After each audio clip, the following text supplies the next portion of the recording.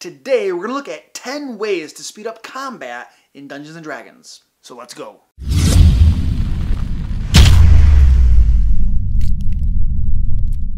Hey, Luke Hart here. So combat in Dungeons & Dragons should be really fast-paced and exciting. However, sometimes it grinds to a crawl at the table. So let's look at 10 ways we can speed things up.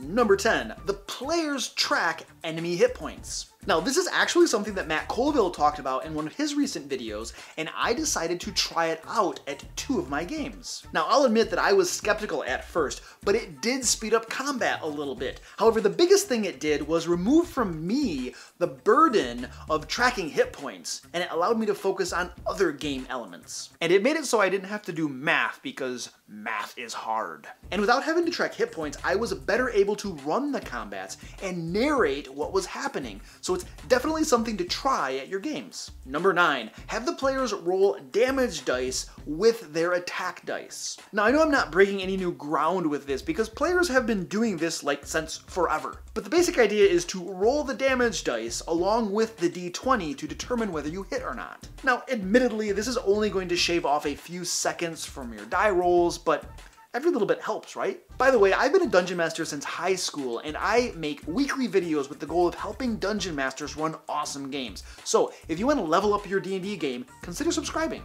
Number 8. Make sure your players fill out their character sheets properly. Alright, now I think this is kind of a no-brainer, but it still shocks me how many players don't fill out their character sheets all the way. In particular, I'm talking about the weapon stat blocks that list the attack modifier for a weapon, and the damage that it does. Having this information handy and not having to look it up every time or calculate all of your modifiers each time you make an attack is going to really save some time. Oh, okay, so it's a great axe, so that's like a d12, right? And my strength is 18, so that's plus 4 to damage. Oh, and I'm raging, so that's another plus 2. Oh, and I just leveled up, so that's gonna be a plus 3. You got that? Good, now write it down for next time. Number seven, use average damage. Now I get that it's going to be a really hard sell to get your players to use average damage because, well, players love rolling dice. I mean, that's why they have such crazy amounts of dice. I mean, the, the more dice, the better, right? So my real suggestion here is not for the players to use average damage, but for the Dungeon Master to use average damage. I started doing this probably about half a year ago, and it has sped up my combats significantly. And besides saving time, it also removes the mental fatigue of finding the right dice and rolling them and then adding the dice rolls up and then looking at the bonus to damage that you get and adding it all up.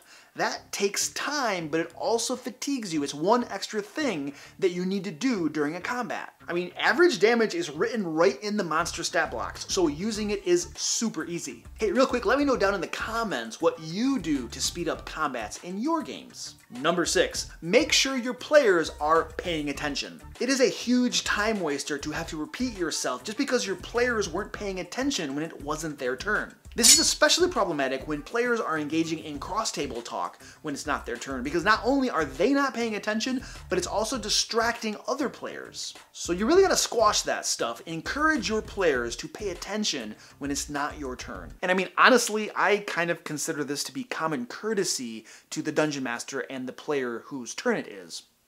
Number 5. As the Dungeon Master, use spellcasters less frequently. Now, I know that casting spells is lots of fun and that you like throwing crazy stuff at your players.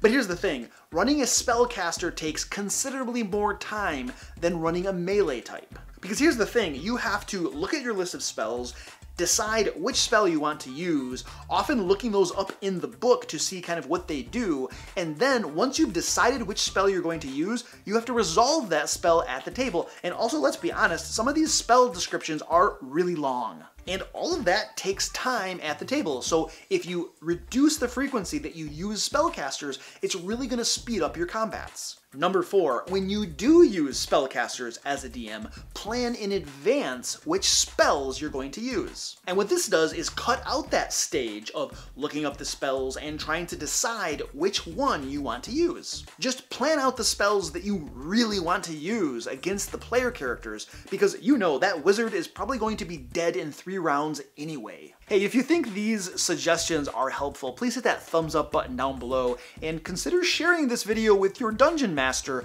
especially if his combats are really slow. Number three, encourage your players to learn how their character's special abilities and spells work. And when I say encourage, what I really mean is beat them with the player handbook until they figure out how to run their own characters. Okay, don't actually strike your players. I'm pretty sure you can get in trouble for that. I mean, I, I don't know. I'm, I'm not a cop. I mean, here's the thing. Your players really should know how their own stuff works because when they don't and you have to look that up, I mean, that just wastes time. Oh, and a pro tip, I would encourage new players not to play spellcasters because that just doubles or triples the amount of rules and information that they need to understand in order to play their character efficiently. Number two, when it's time for a player to make a decision in combat, like on his turn, what he's going to do, there is no committee.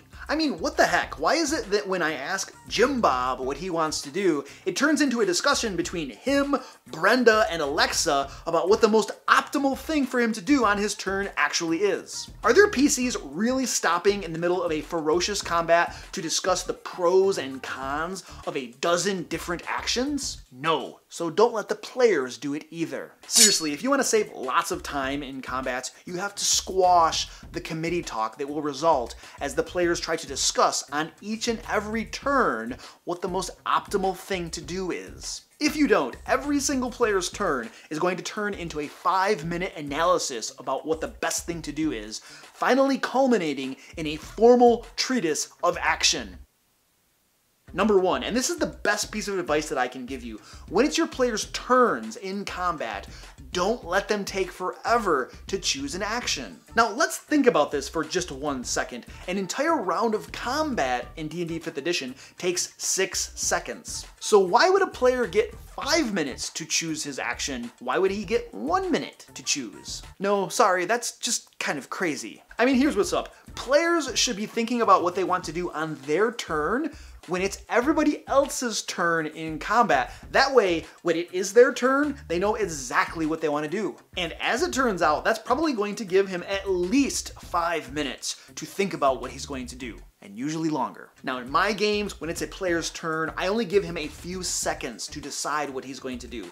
And if he can't make up his mind, then his PC in the game can't either, and he's dodging for that round. Now, I get that that might seem harsh, but in all honesty, players taking too long to decide what they're going to do on their turn is the number one reason for combats taking longer than they should. And here's the thing, you're only going to need to skip a player once or twice, and he'll know you mean business. And the next time, he'll probably know what he wants to do right away. By the way, I'm giving away a copy of Mordenkainen's Tome of Foes to one of my subscribers, so if you want to get in on that, click that link down in the description or in the pinned comment. Remember, I make Dungeons & Dragons videos every week with the goal of helping Dungeon Masters run awesome games. So, if you want to level up your game, consider subscribing. If you found this video helpful, hit that thumbs up button down below and share it with someone you think might find it useful. And that might be your Dungeon Master. And until next time, let's play D&D.